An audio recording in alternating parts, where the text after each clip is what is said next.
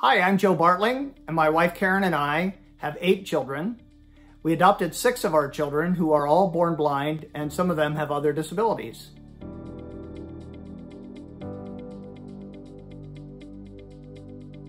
When Karen and I got married, we wanted a large family, and when we started out, we only had one biological son, so we decided to look into adoption.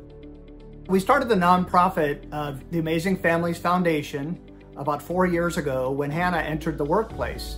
Uh, Hannah's our oldest child, she's 25 and blind, and we found that uh, there were very few job opportunities out there for people with disabilities, especially uh, more than one disability such as blindness and autism, etc.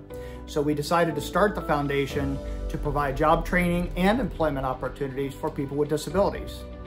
So Hannah's been working at the bakery for three years now, and she was their first blind employee.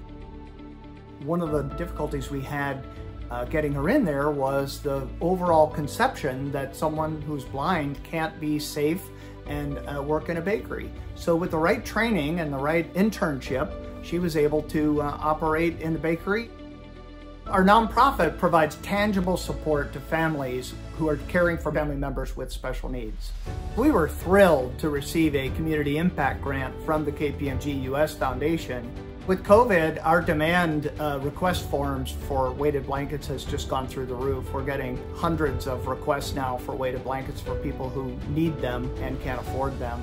Through the grants, we were able to increase our ability to donate these weighted blankets to people that uh, people that needed them uh, during this pandemic. We're always on the lookout for people, especially families with special needs that need a little bit of extra help and support.